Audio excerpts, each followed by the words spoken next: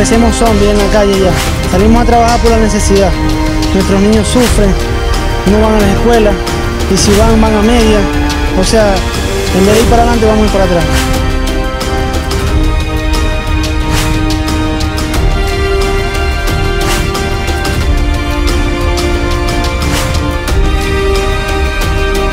Avenida La Falcón, esa gente pasan, pasan horas, horas tras horas, días completos, más de 24, hasta dos días incluso sin luz.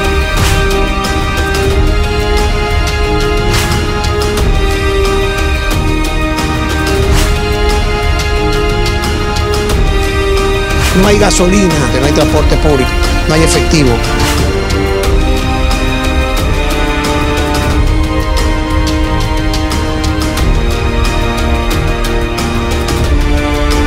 Estamos cansados de esto.